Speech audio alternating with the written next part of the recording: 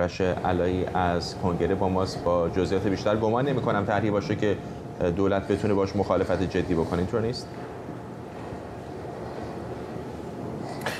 بله و نه نه به این دلیل که هنوز شما نمی‌دونید دقیقا سیاست دولت بایدن چیست. یعنی وقتی از حداقل در یک هفته گذشته از سیاست مداران مختلف من پرسیدم از سناتورهای حزب دموکرات و جمهوری خواه پرسیدم هنوز بیمیل نیستن به برجام برگردن فرداد.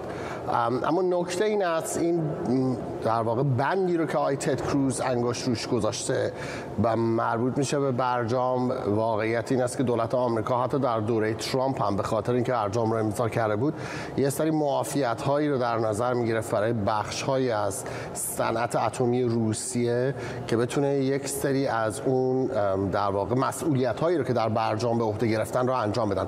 بخشی از اون برمیگرده به خروج اورانیوم غنی شده کیک زرد ایران ببرنش در روسیه تبدیل میله های اورانیوم کنن برگردونن.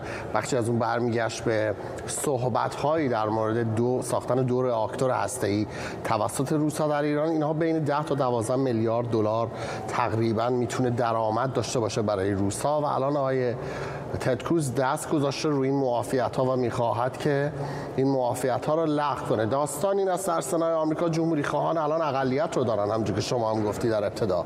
و اگر آقای تد کروز می‌خواهد که این قطعنامه رو در واقع تصویب بکنه یا به صورت طرح تصویب بکنه به آرای دموکرات ها احتیاج داره.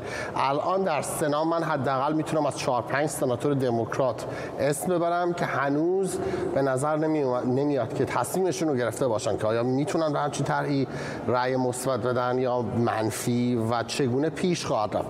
بخش دیگری هم هست که شاید بعضی از دوستان فکر کنن خیلی خوب عالیه. الان این طرح تصویب میشه جلوی فعالیت های ایران گرفته میشه برجام تعلیق میشه و بقیه داستان ها بازم واقعیت این است که در یک هفته اخیر از همین سناتور تد کروز ما شنیدیم که می‌گوید که دولت بایدن مصمم است برای نوعی توافق اتمی با جمهوری اسلامی.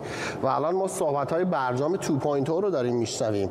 صحبت های میشنویم که حتی امانوئل مکرون می‌گوید شاید چارچوب جدیدی احتیاج هست برای اینکه بخواد به توافق برسه با ایران. یادمون نره دولت بایدن روز اولی که اومد گفت توافقی بهتر و طولانی تر می‌خواد با جمهوری اسلامی.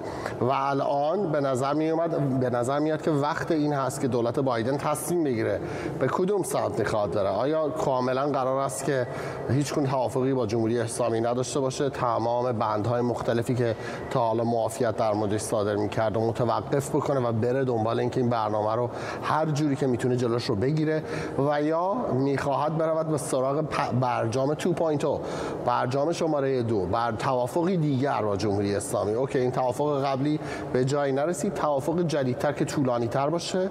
اون چیزی که حداقل سیاست مداران مختلف مثل دنیس راست من گفتن جمهوری اسلامی کاملا غنیسازی اورانیوم بالای 5 درصد رو کنار بگذاره و بعد هم حاضر بشه که یک سری از اون در واقع مکانیزم هایی که آژانس بین‌المللی انرژی اتمی قرار بذاره برای نظارت و مکانیزم هایی که قرار فقط مختص ایران باشه خیلی سخت گیرانه باشه پشت سر هم بتونن هر موقعی که خواستن بیان جاهای مختلف و سرزده بازرسی کنن. اگر جمهوری اسلامی حاضر بشه به همچین امتیازاتی تن در بده یعنی عقب نشینی کنه از امتیاز خواهی و حاضر باشه امتیاز بده.